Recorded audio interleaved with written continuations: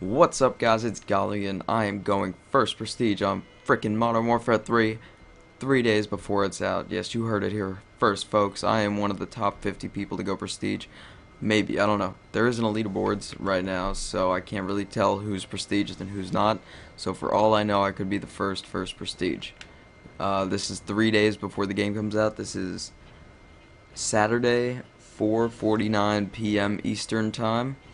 So I have 21 hours gameplay. My KD is 2.02, and I have about 4,000 kills.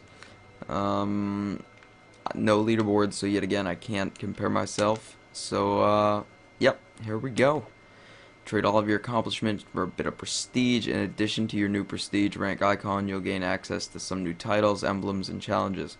Other players will see your new prestige rank icon in the lobby and game. More info, yeah, that's what I want. Prestige has a price. Everything you've unlocked, including weapons, experiences, and challenges, will be reset. You have to rank up to reacquire them.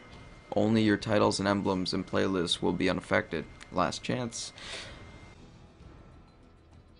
Alright.